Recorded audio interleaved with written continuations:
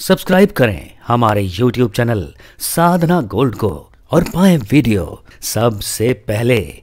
और हाँ bell icon दबाना ना भूलें। कई लोगों को देखा है, कई बच्चों को ऐसे देखा है माता पिता बच्चों को पाल पोस के बड़ा करते हैं। जीवन में बहुत से सपने अपने बच्चों को लेकर देखते हैं।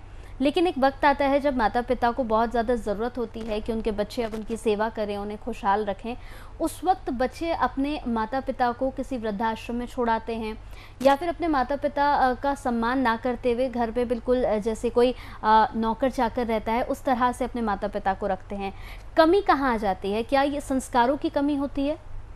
आपने पहले तो अपने प्रश्न में ही उत्तर दे दिया। हम्म। विशेष रूप से इसमें संस्कारों की कमी है क्योंकि देखिए हमारे यहाँ रामायण का प्रचलन था रामायण पढ़ाई जाती थी खूब अच्छी तरीके से घरों में। उसका ज्ञान विज्ञान पूरी उसमें भरी हुई थी। जैसे एक पिता के कहने पर पुत्र जो है चौदह वर्ष के लिए वनवास के लिए चला जाता है और सोतेली माँ के जरा सा विरोध करने पर वो एक बार भी उफ नहीं करते और किस प्रकार से चले जाते हैं और भाइयों का समावेश किस तरीके से दिखाया कि भरत उनके लिए ललायत हैं और लक्ष्मण उनके लिए बिछे हुए हैं पूरी तरह से। तो ये जो हम लोगों के संस्कार थे, जो हमारी विद्वता थी, जो तरीका था, इससे हम मूल से भटक गए। हमने अपने बच्चों को इस तरह के स्कूलों में डाला, जिसमें संस्कार नाम की चीज़ नहीं है, और उनमें जो है हम लोगों ने पढ़ाई तो उनकी करा ली, लेकिन पढ़ाई कराने के बाद वो जो उनकी असली पढ़ाई थी, जिस वास्तविक स्वरूप में उनको जीना चाहिए था, उनको केवल हमने सिखाया कि पैसा किस प्रकार से कमाना चाहिए, धन कैसे अर्जित हो, ये बताना हम भूल गए।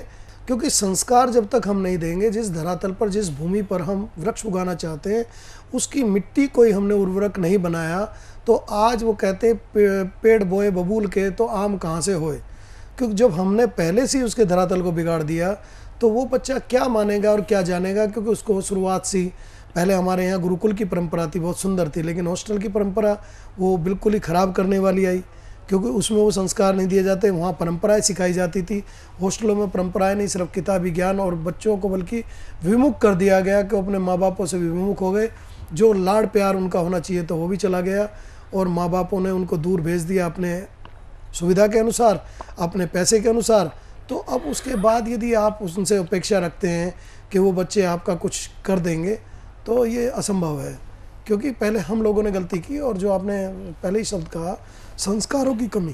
क्योंकि जब तक हम बच्चे को जीवन नहीं देंगे, उसको धरातल की चीज़ों को नहीं सिखाएँगे, आज भी बड़े बड़े परिवार जो समाज में हैं, वो जितने सुखी हैं, इतने कोई नहीं है, क्योंकि आजकल बच्चे, अब मैंने सुना है कुछ माताओं को ढूंढ रहे हैं, कुछ नानियों को ढूंढ रहे हैं, क्योंकि उनके पास बच्चे पालने के लिए भी बुज़ुर्ग नहीं हैं और अनसेफ हैं और अपने आप को परेशान होते हैं और भुगतते हैं।